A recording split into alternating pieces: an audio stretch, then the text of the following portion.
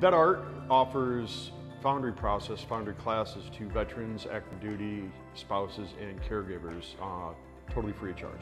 I've been diagnosed with PTSD and have found in the past three years working with the VetArt program, uh, while not a total subsidence, a, a a large subsidence of intrusive imagery, flashbacks, and some of the other symptomologies. I found almost right away that, that the uh, soft red wax kind of catches all my creative attention, settles my mind, becomes a meditative process in itself. Due to the loss of my son after 37 years, uh, I kind of got a traumatic shock and PTSD, which I already had. And as I attended and got cast my face with bronze and started working on it, it was an immediate relief. Pills and stuff give you endorphins, and that's they alter your state of mind. I'm doing this with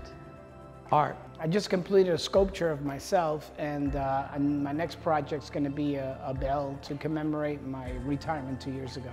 In addition, it's given me opportunities to come in contact with and work with in relatively close quarters other veterans. The one thing that, that people don't realize, when you're in the military, you know, it's a process to get out. So you're a, a Marine one day or an Army soldier one day, and the next day you're civilian. So there's no transference out of that.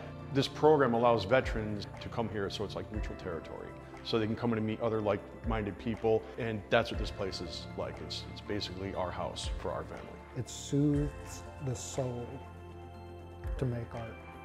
It uh, could very well have saved my life.